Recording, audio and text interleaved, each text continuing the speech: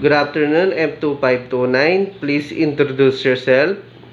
Uh, my name is Virgie Delmilis Anchoquia, 41 years old, married from Bicol, uh, Salvacion Bulacan, Marinisor.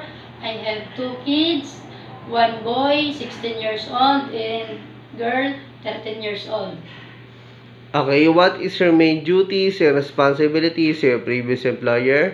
Uh, main duties of my uh, previous employer in Saudi is uh, take caring baby of baby newborn and uh, clean the house, uh, cook and ironing, wash clothes.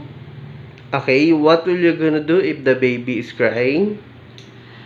I think I uh, first check the uh, body of baby because I think uh, I have a fever or uh, hungry or the diaper is full.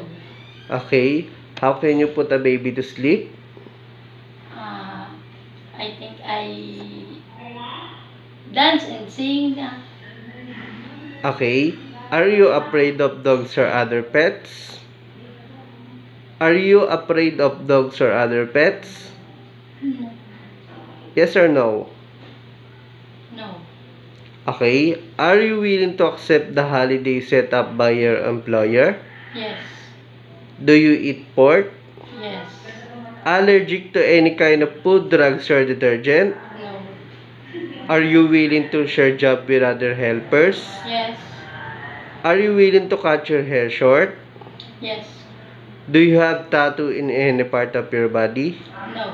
What is your message to your future employer? Uh, my message to future employer, Ma'am, sir, please choose me.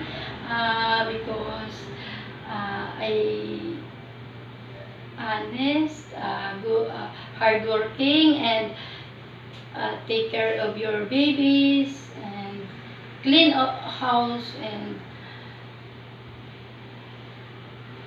Okay, thank you M2529.